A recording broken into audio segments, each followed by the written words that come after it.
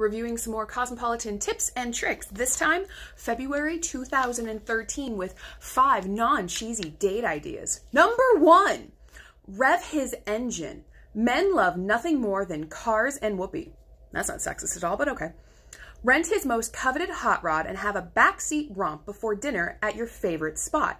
Best girlfriend ever. Okay, Car whoopee is very rarely fun for a lot of people. It is a lot of contorting of the body, and you can't get comfortable. And one of the biggest things with any type of whoopee experience is please be comfy.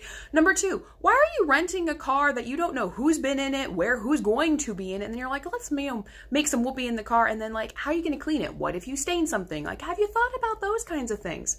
Also, anytime you're talking about doing stuff in the backseat of a car, where are you putting it? Where are you going? One of the biggest things is like that is a potential legal risk of indecent exposure, and that could end you up on a registry, and ain't nobody want you be doing that, okay? So maybe just rent the coveted hot rod and like drive around in it, and then take him home and then blow his back out, okay?